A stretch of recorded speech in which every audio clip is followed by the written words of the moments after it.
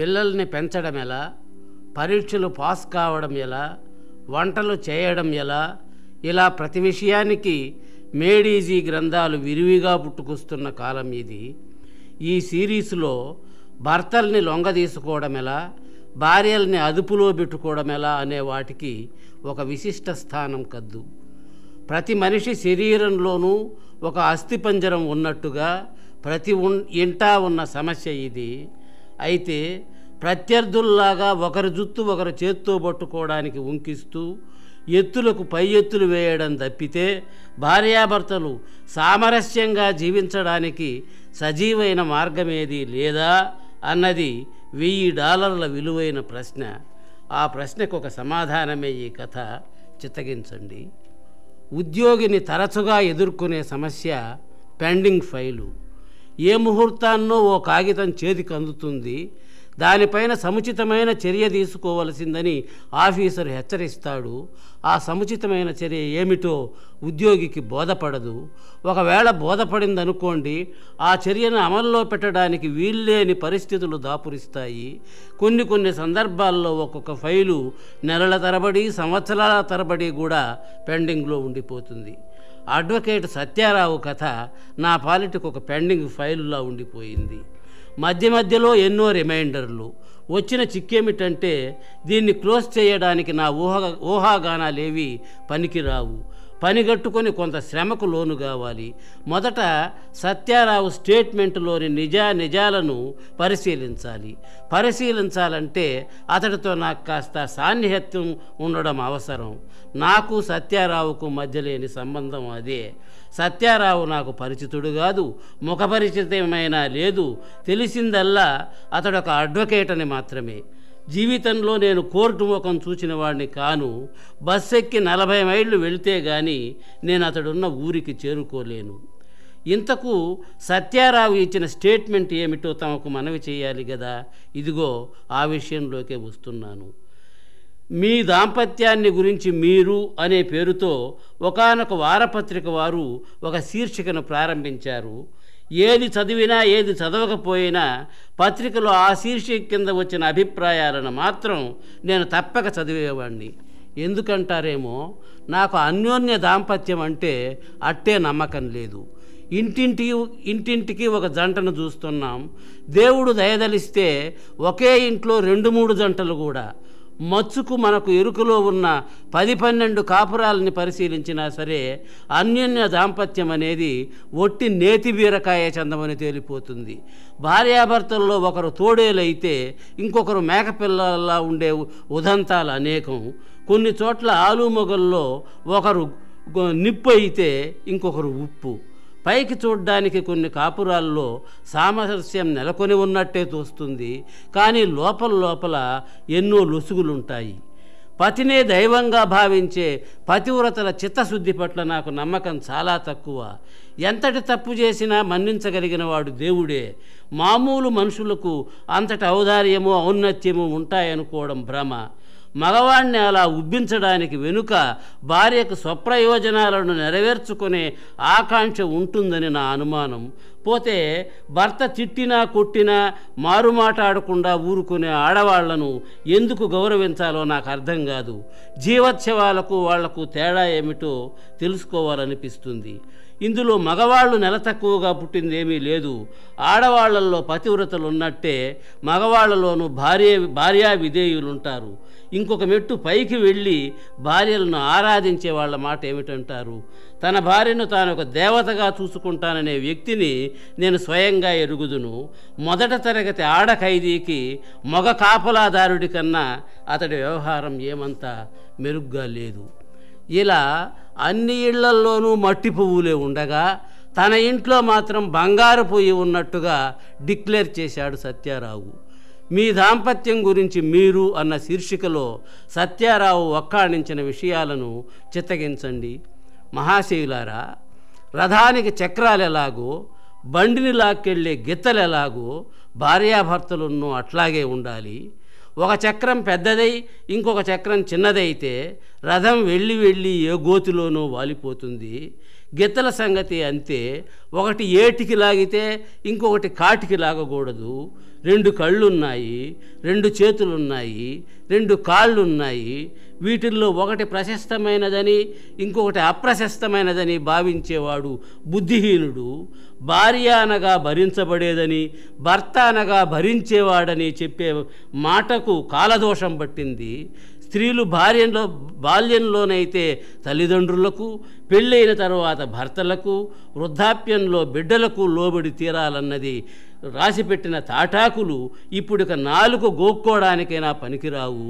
ఆ తాటాకు చప్పళ్ళను లెక్క చేసేవాళ్ళు ఉండరు ఉందిలే మంచి కాలం ముందు ముందున అన్నాడు కవి. ఆ ముందు కాలం మాట ఏమిటో గాని నస్త్రీ స్వాతంత్రమర్హతి అన్నామంటే ఆడవాళ్ళు తిరగబడి వేడివేడిగా నాలుగు వడ్డించే కాలం మాత్రం అత్యంత సమీపంలోనే ఉందని నమ్మకంగా చెప్పగలను. ఎటొచ్చి నాకు మాత్రం అలాంటి భయం ఏ కోశానా లేదు. అరమరికలు లేకుండా పొరపత్యాలు రాకుండా తీయందనాలు పోకుండా ఆనందాలు వెలిగేటట్టు ఆత్మీయతలు వెలసేటట్టు ఆప్యాయతలు నెలకొనేటట్టు భార్యాభర్తలకు సమప్రాధాన్యం ఉండేటట్టుగా మేము మా సంసార జీవితాన్ని ప్లాన్ చేశాము. అది ఎట్లాగని ప్రశ్నిస్తారు కదూ? అమ్మో ఎంత ఆశ! లాయర్ని కదండి ఉచితంగా సలహాలు ఇచ్చే అలవాటు నాకు లేదు. పోగా ఇవన్నీ ఒకరు చెప్పగా ఇంకొకరు విని గ్రహించగలిగిన విషయాలు కూడా కావు. ఎవరికి వారే? తమ ఆలోచన ద్వారా అనుభవం ద్వారా అవగాహన ద్వారా గ్రహించదగ్గవి. ఇంతే సంగతులు. ఇట్లు శ్రీరంగం సత్యారావు అడ్వకేటు పలమనేరు. నిజానికి సత్యారావు మాటలు అప్పటికప్పుడు నా పైన చూపిన ప్రభావం తక్కువే. కానీ మననం చేసిన కొద్దీ మహిమ మహిమ హెచ్చిన మంత్రంలా కాలక్రమాన నాకది ఒక తీరని జిజ్ఞాసగా పరిణమించింది. భార్యాభర్తలకు సమప్రాధాన్యం అంటే ఏమిటి? ఆనందప్రదమైన సాంసారిక జీవనానికి నికరమైన దారిని చూపించే పక్షంలో దాన్ని గుప్తంగా ఉంచుకోవడం అన్యాయం. గోపురం పైన కూర్చొని రామానుజుడు వేదార్థాలు ఒల్లించినట్టుగా ఈ రహస్యాన్ని బాకాలు పెట్టి దశ దిశలకు ప్రచారం చేయవలసిన అవసరం ఎంతైనా ఉంది. అవకాశం దొరికితే ఆ సత్కార్య నిర్వహణను నేను ఒక మహద్భాగ్యంగా భావిస్తాను. కానీ ఆ రహస్యాన్ని తెలుసుకోవడం ఎలా? ఆ ప్రశ్నకు సమాధానం తెలియకుండానే రెండేళ్ళు దొరికిపోయాయి. మొన్నటికి మొన్న వేరే పని మీద నేను పలమనేరు వెళ్ళవలసి వచ్చింది. పనిలో పనిగా సంసారాల్లో శాంతిని కాంతిని నెలకొల్పే ఆ గోసాయి చిట్కాను కూడా తెలుసుకురావాలన్న దృఢ నిర్ణయంతోనే బయలుదేరాను. నేను ఆ ఊరికి వెళ్ళిన రోజు శనివారం. మరునాటి ఉదయం సత్యారావు ఇంటిని వెదుక్కుంటూ బయలుదేరాను. మునుపటి రోజుల్లో అదొక తాలూకా కేంద్రం. అక్కడున్న పది పన్నెండు మంది లాయర్లలోనూ సత్యారావు కాస్త లెక్కకొచ్చిన మనిషిలాగానే కనిపించాడు. ఎంత చిన్న పిల్లవాడైనా సత్యారావు ఇంటికి సరైన రెక్కమానుగానే వ్యవహరించాడు. కాంపౌండ్ వాళ్ళు దాటుకోగానే చిన్న పూల తోట పూల తోట మధ్యగా సిమెంటు బాట ఆ బాట వసారా దగ్గర ఆగిపోయింది. వసారా గుమ్మం హాల్లోకి తెరుచుకుంటుంది. హాల్లో నుంచి వంటగదిలోకి బాత్రూంలోకి పెరట్లోకి గుమ్మాలున్నాయి. పొందికగా ముచ్చటైన ఇల్లే కట్టుకున్నాడు సత్యారావు. వసారాలో నిలబడి గొంతు సవరించుకోగానే ఎవరు ఎవరు అంటూ ఓ మనిషి బయటకు వచ్చాడు. అడ్వకేట్ గారు ఉన్నారా అన్నాను. వెయిటింగ్ రూమ్ తలుపు తెరుస్తూ అతడు వస్తారు కూర్చోండి అన్నాడు. అసలు ఇంతకు సత్యారావును కలవడానికి సిద్ధపడిన తరువాత అందుకు ఒక కారణం తయారు చేసుకోవాలి కదా దారి పొడుగునా నేను అదే ఆలోచనలో ఉన్నాను. పకడ్బందీగా ఇట్టే ఓ కట్టుకథను అల్లేశాను. మా ఆవిడకు నాకు బొత్తిగా పొసగడం లేదు. నేను ఎడ్డమంటే తాను తెడ్డమంటుంది. నా రాబడికి మించిన దుబారా ఖర్చులు తెచ్చిపెడుతుంది కాదుకూడదని హద్దుల్లో పెట్టదలుచుకుంటే పుట్టింటికి వెళ్ళి నెలల తరబడి అక్కడ తిష్ట వేస్తుంది. ఈ జబ్బు న- ఈ నయం చేసే మందు ఏ షాప్లో దొరుకుతుంది? విడాకులు ఒక్కటే శరణ్యం అనిపించడంతో లాయర్తో పని తగిలింది. పత్రికలు తిరగేస్తూ వెయిటింగ్ రూమ్లో కూర్చున్నాను. ఆ గది తలుపులు కూడా వెయిటింగ్ రూమ్లోకి తెరుచుకుని ఉండడం వల్ల గృహాంతర్భాగంలో కూర్చున్నట్టే ఉంది. ఇందాక నన్ను పలకరించిన వ్యక్తి బాత్రూంలో పిల్లలకు స్నానం చేయిస్తున్నాడు. వంటింట్లో పొయ్యి మీద ఉన్న పెనుము దోశల తయారీలో నిర్విరామంగా పనిచేస్తూ ఉంది. ఎంతగా పిల్లలకు నీళ్ళు పోస్తే మట్టుకు చెంబులు తప్పేలాలు అలా గొంతు చించుకోవాలా? ఆడగొంతు యజమానురాలిది. ఏది? నువ్వు చూయి చూయి మనకుండా దోశలు కాల్చు చూద్దాం.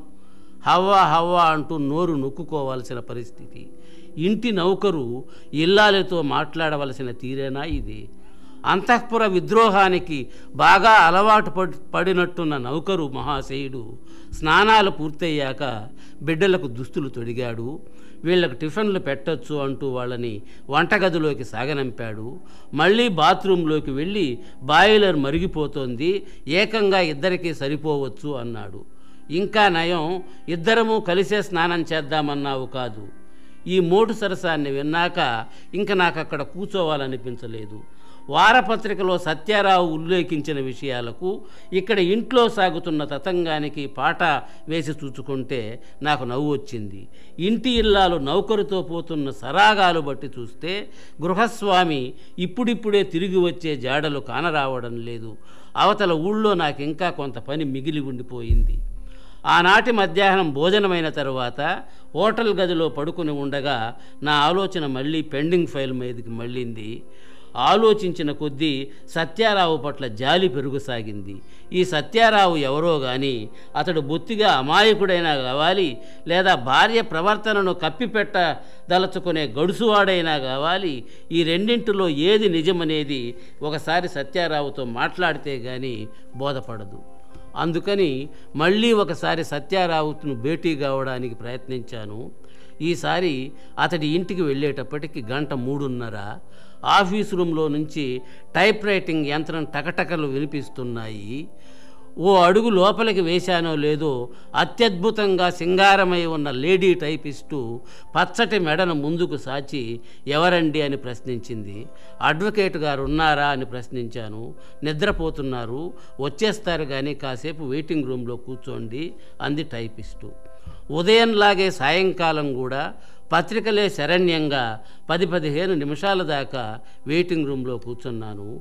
వంటగదిలో నుంచి ప్రారంభమైన పాదరక్షల సవ్వడి హాల్లో ఆఫీసు గది దాకా వచ్చి ఆగిపోయింది.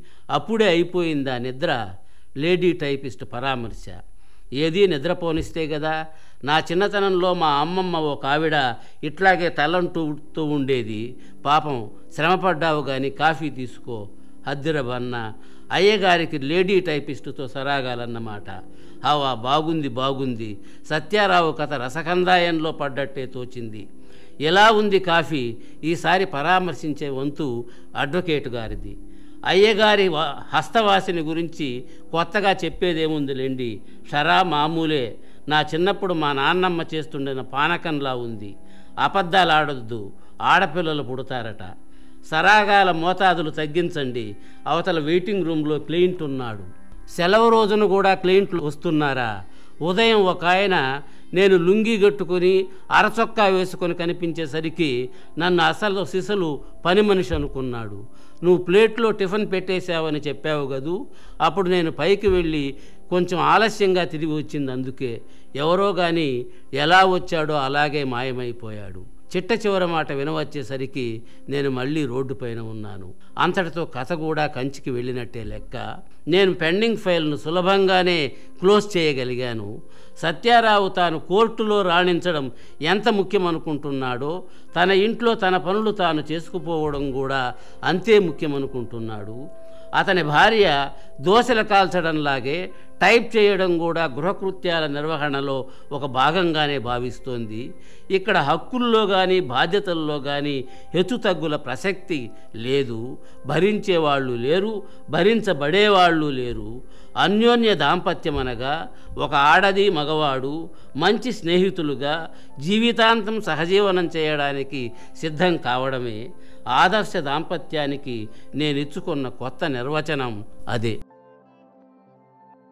మరిన్ని మంచి వీడియోస్ కోసం మన మధుర సాహితీ యూట్యూబ్ ఛానల్ని సబ్స్క్రైబ్ చేసుకోండి. నోటిఫికేషన్స్ కోసం బెల్ ఐకాన్ని ప్రెస్ చేయండి. అందరూ జాగ్రత్తగా ఆరోగ్యంగా ఉండండి. మళ్ళీ కలుద్దాం. నమస్తే.